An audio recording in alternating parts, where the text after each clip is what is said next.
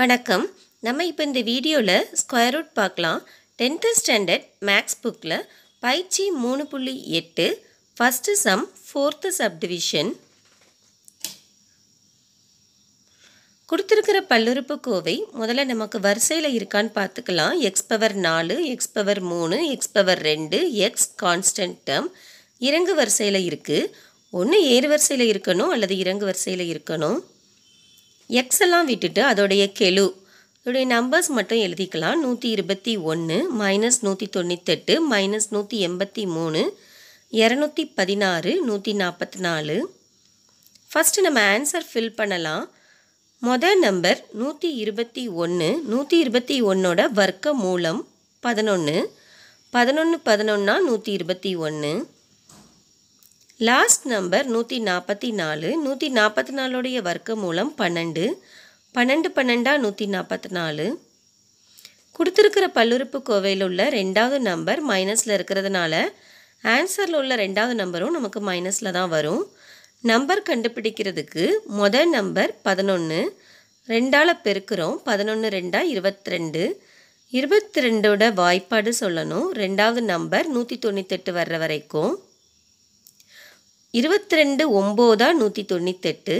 இப்போ நமக்கு ஆன்சர் ஒம்பது.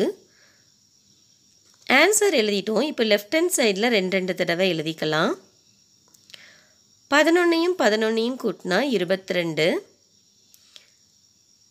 அடுத்து இருபத்தி ரெண்டை மூணாவது வரிசையில் கொஞ்சம் தள்ளி எழுதிக்கலாம். மைனஸ் ஒம்போதையும் மைனஸ் ஒம்போதையும் கூட்டினா மைனஸ் பதினெட்டு. இப்போ நம்ம லெஃப்ட் ஹேண்ட் சைடும் ஆன்சரும் முடிச்சிட்டோம். இப்போ சென்டர் போர்ஷனுக்கு வந்துடலாம் மைனஸ் நூற்றி தொண்ணூற்றி எட்டு மைனஸ் நூற்றி எண்பத்தி மூணையும் ரெண்டாவது வரிசையில் எழுதிடலாம் இரநூத்தி பதினாறையும் நூற்றி நாற்பத்தி நாலையும் மூணாவது வரிசையில் எழுதிக்கலாம்.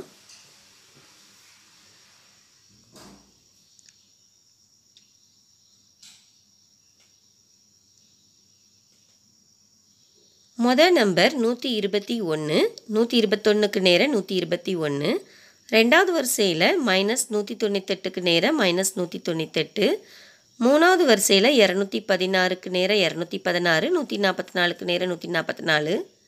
சேமாக நம்ம இப்போ எழுதியிருக்கிற எல்லாத்தையும் ஸ்ட்ரைக் அவுட் பண்ணிடலாம் இப்போ நம்ம கண்டுபிடிக்க போகிறது மைனஸ் நூற்றி எண்பத்தி மூணுக்கு நேரம் உள்ள இந்த காலம் மட்டும்தான். இதை கண்டுபிடிக்கிறதுக்கு நம்ம கண்டுபிடிச்சிருக்கிற ஆன்சரில் உள்ள ரெண்டாவது நம்பர் ஒம்பது. அதோடைய வர்க்கம் ஒம்பது ஒம்போதா எண்பத்தி ஒன்று. எண்பத்தி ஒன்று மைனஸ் நூற்றி எண்பத்தி மூணுக்கு நேராக எழுதிடலாம் சைன் சேஞ்ச் பண்ணிக்கலாம். மைனஸ் எண்பத்தொன்று இப்போ நமக்கு வந்திருக்கிறது மைனஸ் நூற்றி எண்பத்தி மூணு மைனஸ் எண்பத்தி ஒன்று. மைனஸ் மைனஸ் சேம் சைனுங்கிறதுனால நம்ம கூட்டணும்.